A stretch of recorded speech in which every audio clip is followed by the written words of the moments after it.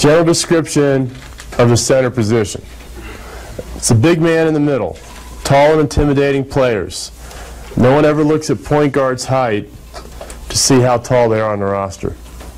What do you look at when you go into an opposing gym? Look at the media guide. Find out how tall they are, don't you? You talk to college coaches, and you, and you always ask them, what are you looking for? I deal with a lot of college coaches, send a lot of coaches, players, and say, Coach, what do you need this year? First thing out of every college coach's mouth, 9 out of 10 times, I need a big guy. How important is the center? John Wooden, the coach of UCLA, won 10 NCAA national championships, said he only recruited two positions ever in this order. What do you think the other one was? You got it. In that order. How many can remember a famous point guard that UCLA had? Bill Walton. Point guard? Point guard? No. But UCLA, how can you remember a famous point guard before when John Wooden was there? Nobody remembers the little guys, see? You remember the centers from UCLA, don't you? Which is Kareem Abdul-Jabbar. Lou Alcindor became Kareem Abdul-Jabbar. Bill Walton, Swen Nater. Did you ever hear of him? He played in the NBA for a lot of years. He played behind Bill Walton.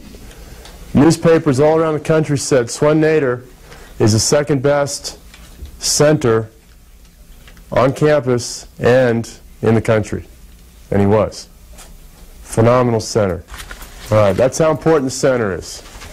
If you're a center, just because you're big, it doesn't relieve you of responsibility to be better. You have to get better. It will make your team better. It will make you more valuable. You have to get better. Being big is not enough. Center needs to have excellent post-up and post-move skills and be an excellent post passer. He needs to have a good mid-range jump shot. The center is a natural leader on and off the floor because of their size and stature.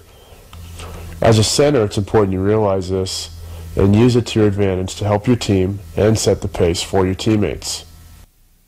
Probably the two most important positions on the basketball court are the center and the point guard.